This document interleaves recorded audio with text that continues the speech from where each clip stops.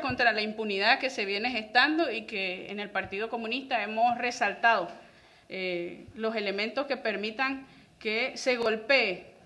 a estos núcleos neofascistas que se encuentran en nuestro país y que han intentado conducir eh, a nuestro pueblo bajo la agresión imperialista, bajo la agresión incluso el estímulo a la violencia y este, a la manifestación eh, para golpear y para intentar desmoralizar a nuestro país a través de la violencia. Nosotros resaltamos sobre todo este, la medida que ha tomado los tribunales para enjuiciar a Leopoldo López, un elemento este, reaccionario que ha posicionado a través del plan de la salida la muerte de más de 43 venezolanos y que además de eso este, intentan eh, trasladar a través de este comportamiento eh, a nuestro país y conducirlo por la violencia. Nosotros queremos resaltar, sobre todo en el Partido Comunista de Venezuela, la necesaria unificación de eh, todo el instrumento jurídico y legal que permita eh, la lucha contra la impunidad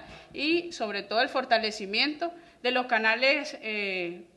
por los que las y los revolucionarios estamos siendo conducidos, que permita también este, una, ofensiva ideológica en el terreno de las ideas y bajo esa concepción este, resaltamos sobre todo eh, estas iniciativas que se están tomando para golpear la impunidad en nuestro país.